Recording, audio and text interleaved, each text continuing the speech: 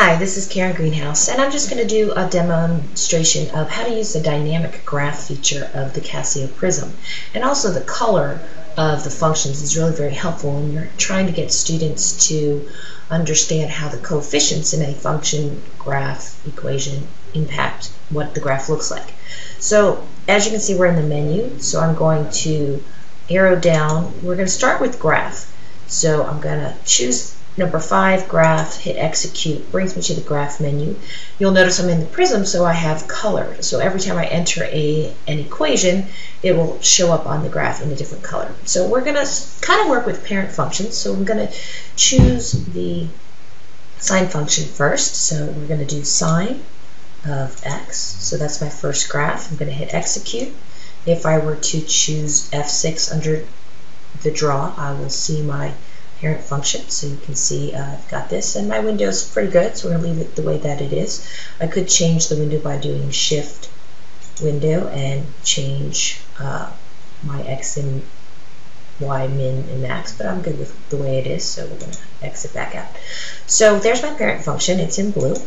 And now what I want to do is work with uh, coefficients. So I'm going to enter um, the standard form of the sine graph. So to do that in Casio um, Prizm, I actually have some built-in functions. So we're going to go to F4, and again, I'm in the graph menu, F4 tool, and you'll see that I now have some built-in. That's under F3, and here's some built-in equations. So we're going to work with this sine one down here. So I'm going to arrow down, hit execute, now I have both graphs and so if I hit draw right now you'll see the parent functions in blue and my um, standard form is in red and so when I hit F6 for draw I'm going to see both graphs.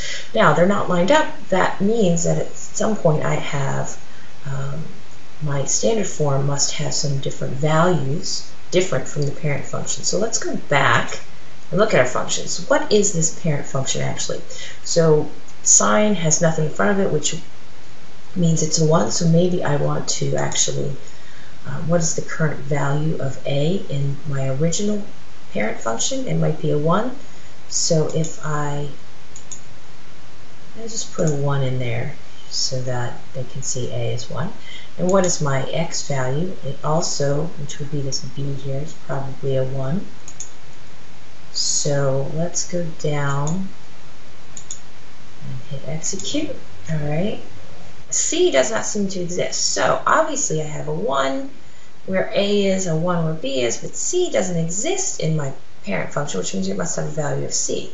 So how do I actually change this function here to match this? I'm going to go into modify, which I talked about in a previous thing. So we're going to choose F5 and you'll see there's my functions again, but this time the red is showing up here and it's telling me the current values. So C is 2, which is why this particular red line is not matching the parent function because it doesn't match the original. So let's arrow down and change C to be 0 and let's see if we can actually make it match the parent function. And since they're right on top of each other, now I know that the parent function has C coefficient is equal to 0. Well, that's pretty neat. So now I make that understanding. So now how do these, in my standard form of my equation, impact the, the graph? So this is what the parent function's values are for a, b, and c. So what would happen, we kind of already saw what happened when we changed c. It, it kind of shifted it. So when it was 1, let's go back. When c was 1, it shifted the parent function and it looks like it kind of shifted it to the left. So how does that match up to the value of c? Well, here was the parent function, and then we shifted. So when c was 1, we shifted to the left at like negative 1. So continue with that. Let's, and again, I'm in modify right now, so I can do this by changing my step. The current value that's being modified is c. So I can uh, change it just by choosing my error. I've made it a 2. And what does that do? Oh, it shifted it again to the left too. So when it's a positive change, I seem to go to the left. When C shifts my parent function to the left when it's positive. So making a conjecture, maybe it shifts to the right when I go negative. So, so let's make C be something negative. So let's Let's make it be negative 3. So let's make a guess. This is a great activity to do with your students. So make a guess. Is it going to go, we think negative's going to move to the right. 3, 3 from where? So its original point was at 0. So let's see if it goes to 3 to the right from that original 0. So let's hit execute. And have I gone 3 to the right? So here's where I was. Oh, it looks like I'm right at the same. So kind of, let's make it be negative 1. Let's see if it moves it 1 to the right.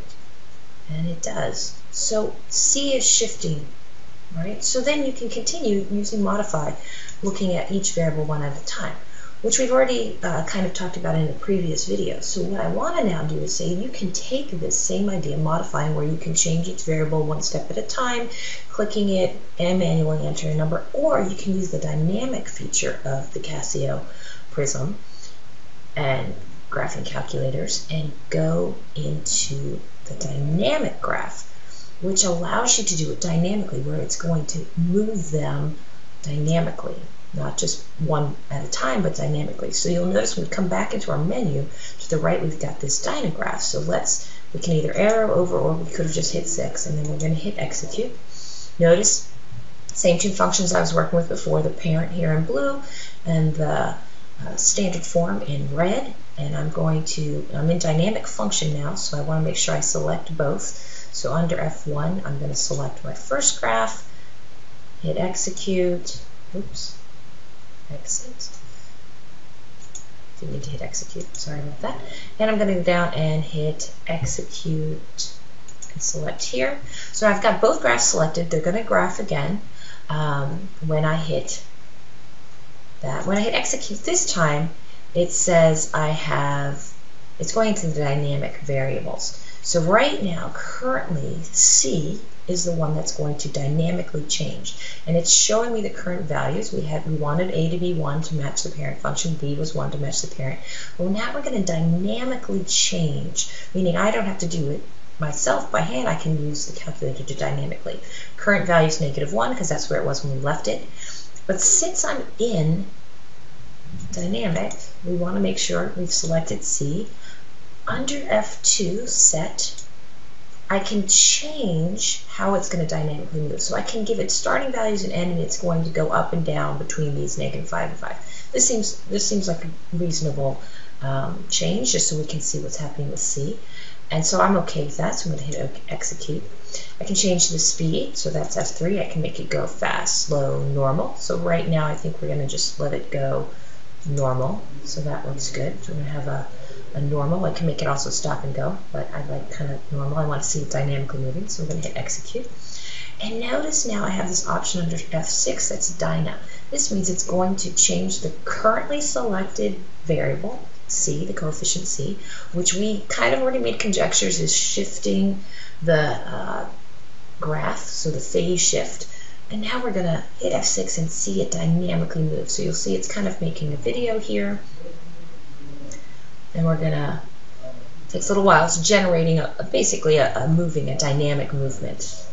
And now we see it, but now it's automatically changing, and I can visually see as the graph is shifting. So it's shifting. Now I'm going positive. I seem to be moving to the left. Okay, so it's shifting. The phase shift is with C and I can watch that. And it's great if you started off your class, you have this dynamically moving as students are coming in. You can have them make some conjectures, and you can go back into the modified graph and do it one at a time once they've made some conjectures. So the dynamic feature's excellent because it kind of shows things all at once and, and, and as like a movie. So let's let's stop that and let's so all I did to stop it was hit the AC and on button, stops the movement. I'm going to hit exit to get back. Let's choose a different variable. So first we're going to change C back to the parent function value that it has, which we determined was 0 and hit execute. And now let's let's see what happens when we move A.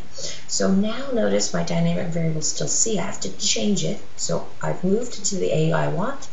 F1 selects A as now my dynamic variable.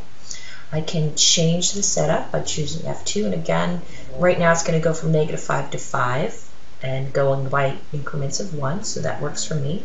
We won't change that. Speed will keep the same. I could change it if I want. We'll keep the same. But now when I hit dynamic, A is going to be changing. So you could have students make some conjectures, or you could have this just plain. So again, it's generating a new dynamic graph.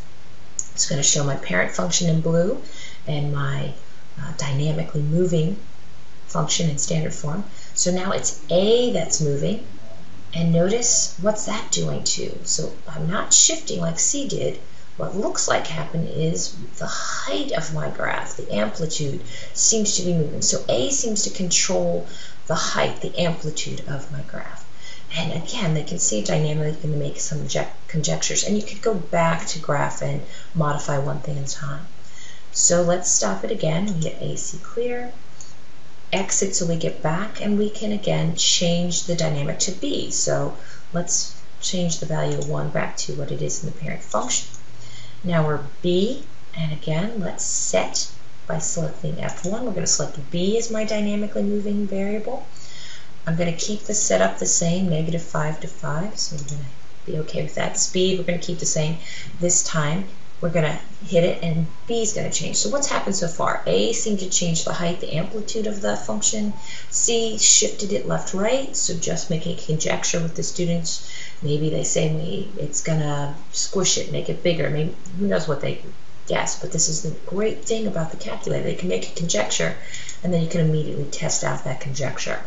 So let's see what B does. What, how did, when we move it dynamically, how is B impacting that graph?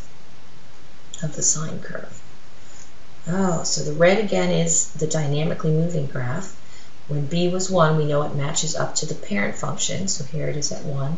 And what's it doing? It seems to have more curves, if you want to think of it that way.